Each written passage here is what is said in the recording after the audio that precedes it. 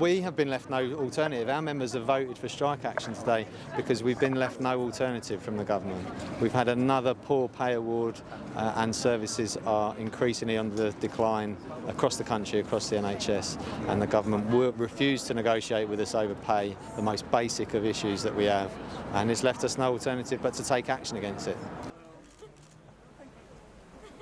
The fact that the service is being, you know, so run down means that staff are leaving in their droves. And that puts additional pressure on those staff who are left behind.